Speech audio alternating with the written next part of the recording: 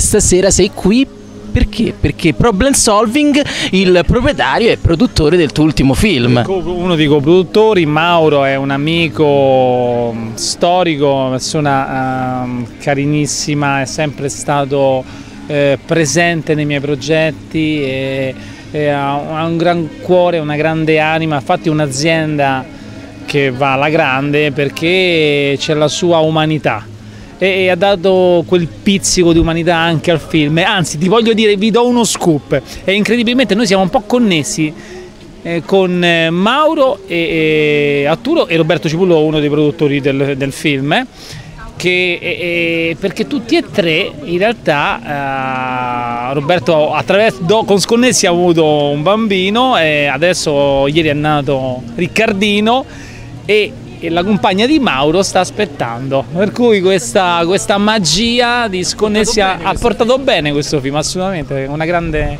una grande fortuna perché io penso che insomma, avere oggi come oggi, ieri ho vissuto questa esperienza grandissima di Riccardino, è stata unica, penso, irripetibile. Il mio piccolo Oscar già l'ho vinto.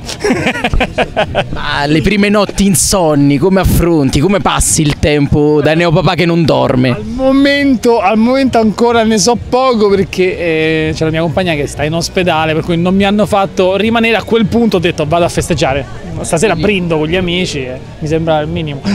Quindi si brinda Riccardino stasera, poi in questa splendida... Perché ha fatto questo, insomma è un evento dedicato alla problem solving, una grande azienda solida che negli anni ha sempre insomma, eh, dato il massimo, ha contribuito in maniera importante anche sconnessi, per cui grazie a Mauro Arturo.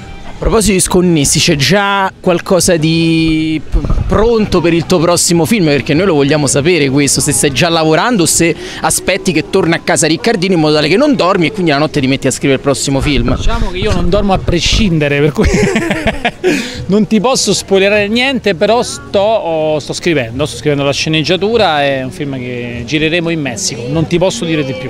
Messico, quindi sicuramente sei un fan di Narcos, è quello il genere? No, mi, mi, piace, mi, piace, la serie, però no, no, è una, una, commedia, una commedia on the road in mezzo a una foresta, ti, basta, stop. ti abbiamo anche spoilerato troppo e quindi ti lasciamo all'alcol ai festeggiamenti per il tuo piccolo Oscar. Grazie, grazie a voi.